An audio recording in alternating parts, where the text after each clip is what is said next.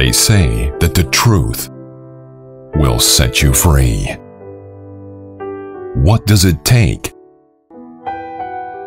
to be the chosen one? It takes courage. It takes passion. It takes faith.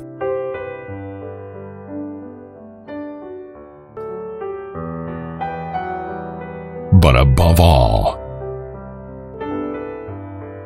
it takes the will to choose.